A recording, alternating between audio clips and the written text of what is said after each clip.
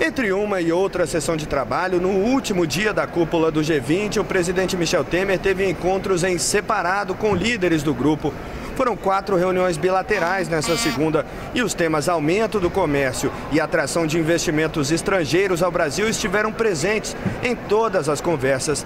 Na primeira, com o primeiro-ministro japonês, Temer disse também que o Brasil quer exportar carne e outros produtos agrícolas ao país asiático e que os países compartilham a mesma preocupação na área climática.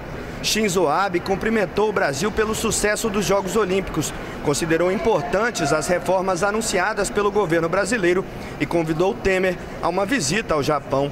Na conversa com o primeiro-ministro espanhol Mariano Rajoy, os líderes manifestaram apoio ao acordo de paz na Colômbia e também trocaram convites de visitas oficiais.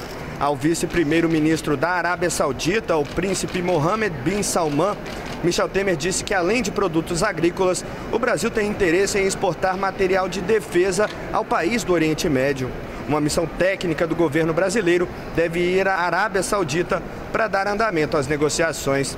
Já na conversa com o primeiro-ministro da Itália, Matteo Renzi, o presidente prestou solidariedade às vítimas do terremoto que atingiu o país no mês passado e agradeceu o apoio italiano ao acordo comercial entre Mercosul e União Europeia.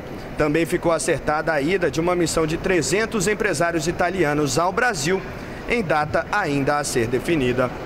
De Hangzhou, na China, João Pedro Neto.